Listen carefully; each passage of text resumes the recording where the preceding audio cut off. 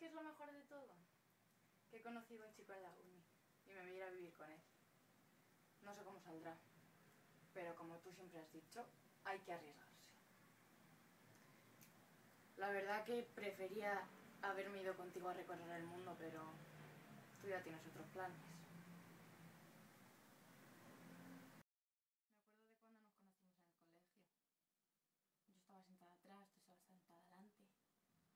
Y me pusieron adelante contigo porque no veía nada. Y a ti te pusieron adelante para que no hablases.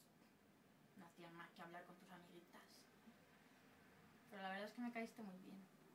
Me acuerdo la miradita esa que me pusiste de cómplice de, ay, vamos a hacer locuras.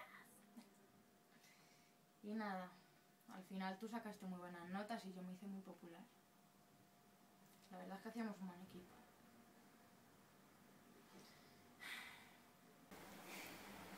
Me acuerdo que tú te llevabas a todos los tíos. Y yo, no tenía ni idea de ligar.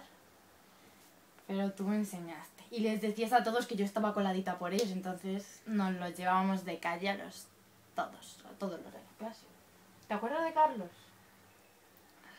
Le he vuelto a ver.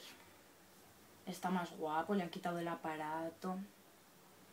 Está muy bueno ahora.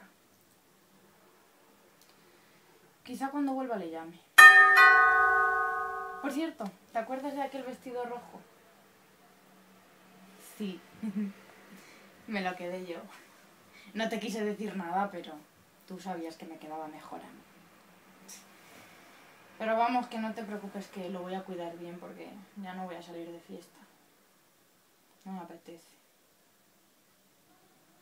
Además estoy muy enfadada porque la última vez que te fuiste no te despediste de mí.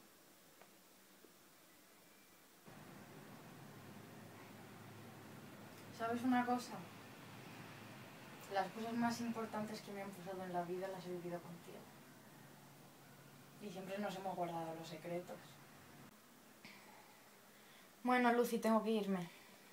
Quizás tarde algún tiempo, pero algún día volveremos a vernos. Te lo prometo.